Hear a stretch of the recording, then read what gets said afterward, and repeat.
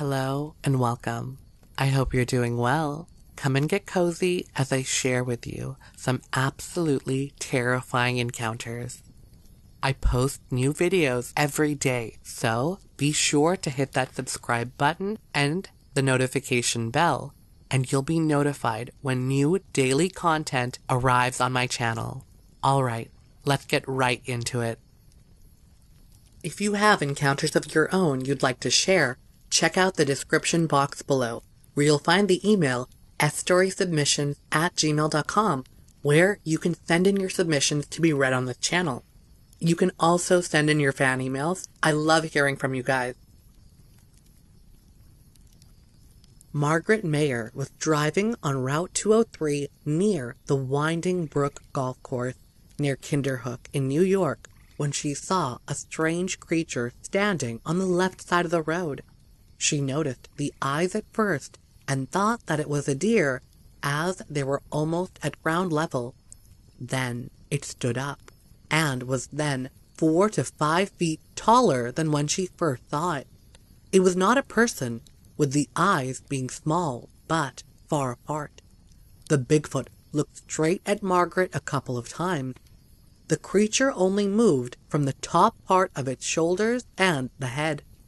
She did not notice any arms, and she could see the top of the legs, which were really skinny, and it looked deformed, yet it moved fast, and did not seem to walk across the road, but moved across it like it was almost gliding. The eyes were yellow, and the head went straight into the shoulders, and there was also no neck. On to the next one. Martha Hellenbeck saw round, white eyes that were seven and a half feet off the ground near her back porch at night. She describes them as bright white. On to the next one. A woman found large footprints in the snow near her Fourth Avenue home in Whitehall. The tracks were bipedal and appeared to originate near the tree line and circled her house. On to the next one. Susan Hellenbeck a teacher at Ichabod Crane Middle School was walking in the woods near Cushing's Hill when she heard strange vocalizations that sounded like the sounds of gorillas from the movie Gorillas in the Mist. On to the next one. In Whitehall, in Washington County, in New York, the witness encountered huge footprints in the wood, about 20 inches long, and found some tree branches broken down. Walking back to the house, they felt like they were being watched. The next morning, one of the witnesses woke up to see a huge 10 foot tall creature standing about 20 feet from the house. The creature wandered about for a while. It was brown in color and looked very human except for its size and forehead and its hairy appearance. After about five minutes, it walked past the house and up a nearby bank. As it passed the house, it banged on the wall, awakening the other witnesses. On to the next one. In Chemung County in New York. The trail I was jogging on was at the base of one of the hills that surrounds the Chemung Valley. The trail itself was approximately one quarter of a mile long, fairly clear, about two feet wide, and surrounded by woods on both sides. The trail itself, as well as the hill, is located in the outskirts of the city proper, actually the town of Elmira versus city of Elmira. As it was very cold that evening, the snow was ice crusted and it was very easy to discern footsteps in the woods. There are a number of trails that diverge from this one that lead up and over the hill. The hill is probably 120 to 200 feet tall with a gentle slope. A good number of roads are in this area, as it is residential. The most notable would be Route 352. This incident occurred in late February at approximately 10 p.m. The conditions that night were very clear and cold, with a fairly decent amount of moonlight. As I recall, there was about four inches of old snow on the ground, and as it was very cold that evening, the snow was ice encrusted, and made a good deal of noise when stepped on. I was jogging on a trail that is approximately one quarter of a mile long. The trail itself was fairly clear, about two feet wide, and ran across the base of one of the hills that surrounds the Chemung Valley. The surrounding area was heavily forested with a mix of trees common to upstate New York. The incident itself occurred when I was approximately halfway through the trail. At that point, the canopies of trees was very thick, and as I was running, I heard the distinct sound of footsteps about twenty or so feet into the tree line off to my right. Being slightly startled, I picked up my pace, but at that point believed that it was a deer in the wood. The trail itself is a common deer path. Although startled, I figured I had spooked a deer and expected to hear the deer receding into the woods in the opposite direction. Instead, I heard the footsteps move parallel to the direction in which I was running. This immediately sent a streak of fear through me, as I have lived in upstate New York all of my life, and knew very well that a deer would bolt in the opposite direction if startled. I ran faster, and as I did, so did the footsteps in the woods quicken. Thinking that I may be hearing nothing than the echo of my own footfalls, I stopped dead in my tracks to test my theory. When I did, so did the steps continued for another two or three seconds, stopping slightly ahead of me and to my right. I stayed where I was for another ten seconds or so, trying to discern what the sound might mean, and while I waited there, I could clearly hear what sounded like a slight side to side movement off in the wood, as if someone was stepping from one foot to another, as if anxious. I attempted to see into the tree line, but could not see that far into the wood clearly. After about ten seconds or so, I began to jog again, and tried to convince myself I was just hearing things and was spooking myself. When I had gone about five feet, the footsteps began again. It was very clear to me that the sounds were coming from a biped as the footfalls sounded like that of a person versus a deer or a dog. What spooked me was that for every two to three steps I was taking, the individual, for a lack of better term, in the wood was taking one. I'm six feet four inches tall, and at that time I was taking the longest strides I could. The thought that kept racing through my mind at the time was that it was either someone having fun with me, this thought was dispelled by the apparent giant strides I heard, or that I was alone in the woods with a psychopath with very long legs. No joke. The most unsettling element at the time was the fact that I'm over six feet tall, and at the time weighed in excess of 250 pounds, mostly muscle. So I figured that whoever it was was not intimidated by my physical presence. I made record speed through the trail and exited onto a service road next to the local golf course. At this point, I ran another 10 feet or so into a clearing at the edge of the trail and stopped to look back into the woods. I continued to hear the footfalls until they stopped at the edge of the tree line. At that point, I was standing under a fluorescent light, and, as such, lost any night vision I had acquired. Consequently, I could not identify any shape or form in the wood. I did clearly hear what sounded to be heavy breathing and a light throaty rumble. My initial thought was that it sounded like someone with a respiratory condition sitting in the tree line. I then heard a tree branch snap and at this point I turned and ran at breakneck speed across the golf course, looking back over my shoulder every ten feet or so. At one point, I tripped and remember thinking that tripping like that only occurred in the movies. A few minutes later, I exited the golf course onto one of the main streets in the town of Elmira and have not used that trail at night ever since.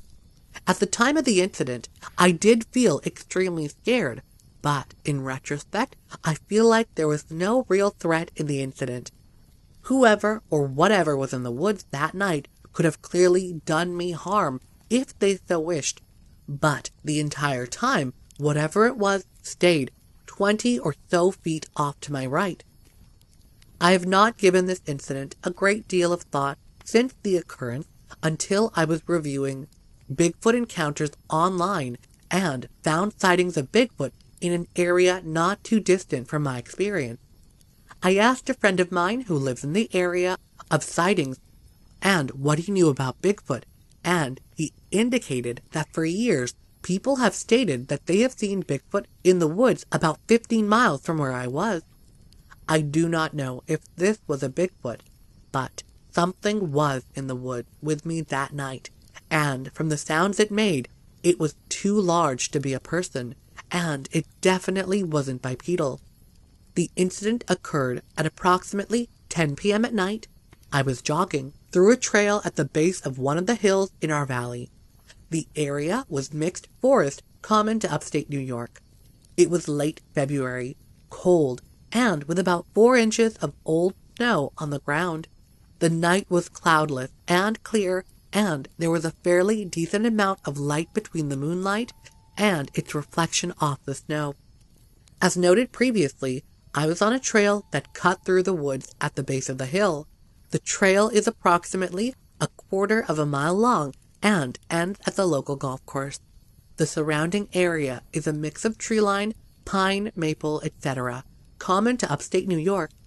The trail itself is a common path for deer, which I had initially thought was following me. The entrance to the trail is at the end of a dead end street in a residential area, although there is no heavy traffic from humans, cars in the area at the time of year. There are a number of ponds within a tenth of a mile or so from the trail on the golf course. There is one documented sighting that occurred in Alpine Junction about 15 to 20 miles from where I was that night. Also, in asking around, I learned that the area of Alpine Junction has a local history of Bigfoot sightings. On to the next one. One enduring cryptozoological mystery is why Bigfoot sometimes fail to leave tracks where they clearly should. With weight often estimated upward of 500 pounds, these creatures should leave tracks in all but the hardest media, yet many do not. In 1962, in Ohio, a couple parked near Big Indian Creek to see a large figure walk through a barbed wire fence and approach the car. The creature is a seven foot tall, tan colored Bigfoot with fangs and claws, albeit sickly or dead looking. Snapping out of their daze, the couple rolls up their window and drives away, but not before the beast crouches in front of the car, hops up, and disappears. They return the next day but find zero evidence of the event, including footprints.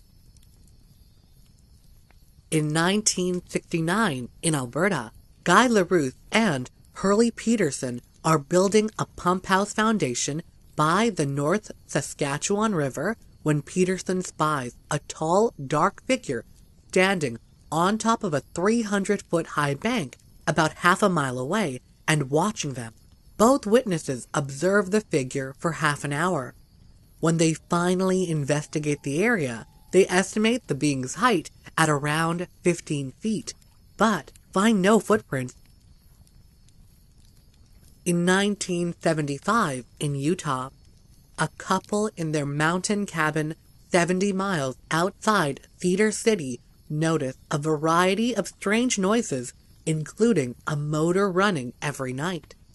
Early one morning, the husband hears heavy footsteps approaching the cabin accompanied by a huge, dark form moving outside the window. The witness opens the cabin door slowly, but sees no one outside and hears nothing retreating. What puzzles me is there were no footprints of any kind, and we have lots of snow here. He later told Alan Berry, My First Nation friend tells me it's the Nuput, meaning ghost in their language, and only a few will dare stay in the area overnight. In 1975, in Kentucky, during the Spottsville Monster sightings, a neighbor visits the Nunnelly family and tells them he encountered an eight foot tall Bigfoot the previous summer. He fired his rifle 16 times at the creature through his screen door. It just walked off without making a sound, he tells them. The neighbor found neither blood nor footprint, not even a single footprint, and it had to weigh at least four or five hundred pounds. Perhaps the most famous Sasquatch to never leave tracks is the large hairy hominoid that stalked a home in Roachdale, Indiana. Beginning in August 1972, Lou Rogers and her son Keith started hearing odd vocalizations on their property, beginning as animalistic growls and hoots before shifting to more human sounds. Whatever had made the noises seemed now to be breathing down her neck, wrote Jerome Clark of one early incident. She turned around slowly, but could see nothing. Thoroughly shaken, she and Keith fled into the house. Unbeknownst to Lou, her brother had observed a luminous object land in a nearby cornfield 90 minutes earlier, before disappearing in a flash. This cornfield would serve as ground zero for the Roachdale Bigfoot. The Rogers home soon came under assault from slaps and taps on the sidings and windows. Soon after, the six foot tall creature began appearing nightly between 10 and 11:30 p.m. for 3 weeks. You could feel it coming somehow. It's hard to explain, Rogers said. The feeling would just keep getting stronger and stronger, and then when it got strongest so you knew something had to happen, the knocking would start. The creature was sometimes seen peering through windows, giving the impression of a broad, bipedal gorilla with intermittently glowing eyes. It never left any physical evidence, however. Rogers said what was weird was that we could never find tracks, even when it ran over mud. It would run and jump, but it was like somehow it wasn't touching anything. When it ran through weeds, you couldn't hear anything. And sometimes when you looked at it, it looked like you could see through it. The only footprints ever discovered were tiny three inch tracks of a foot and a stub. Other Roachdale residents began seeing the creature and the strange activity started ramping up. Lou found a plastic flying saucer toy in her home which did not belong to Keith. The creature shrugged off shotgun blasts. Animal pens and gardens were raided. An officer told Jerome Clark he believed tracks were never found because the ground was hard and the vegetation was high.